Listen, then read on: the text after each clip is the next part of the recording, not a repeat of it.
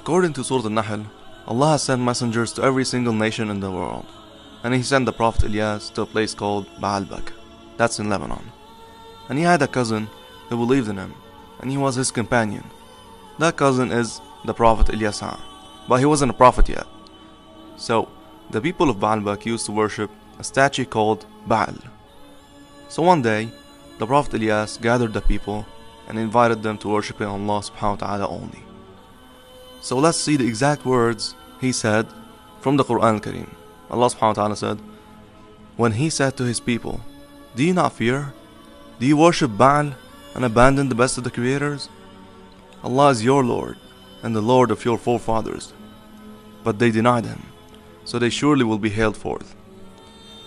So Ilyasa came up to them and said, O my people, you know how honest and truthful the Prophet Ilyas is. Someone like him can never be a liar. Rather, he's guiding you to find the truth. And nobody wanted to accept Islam.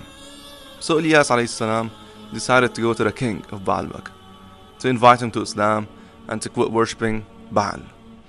The king refused and commanded to kill the Prophet Ilyas salam. When Ilyas salam discovers that the king wants to kill him, his cousin Ilyasa came up to him and said, Oh my cousin, what are you gonna do now? He replied, I'm going to run away from this town and hide in a cave in Mount Qasyun so that Allah may guide me to the right path. So Ilyasa tells him, Wait for me, I'm gonna come with you.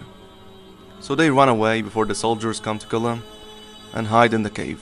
According to some narrations, they stayed in that mountain for 10 years until Allah subhanahu wa ta'ala got rid of that king and a new king is in control right now. When they find out that there's a new king, they decided to go to Baalbek and introduce Islam to this king and told him that there is no God besides Allah Azza and that Baal is just a statue, that he's not gonna help you, he's not gonna harm you. So this new king was intelligent and was wise. He listened to the message carefully and subhanallah, his heart was open to Islam and decided to accept the message. Afterwards, all the people of the king became Muslims, except about 10,000.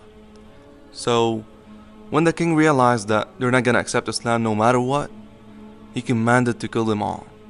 And that's how the false god, Baal, was destroyed and not worshipped anymore. Allah subhanahu wa ta'ala mentioned the Prophet Ilyas with other great prophets in Surah Al-An'am.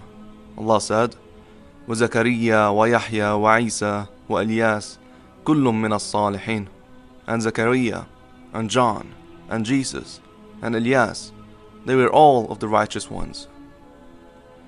Thanks for watching. I hope you enjoyed this little story. Assalamu alaikum.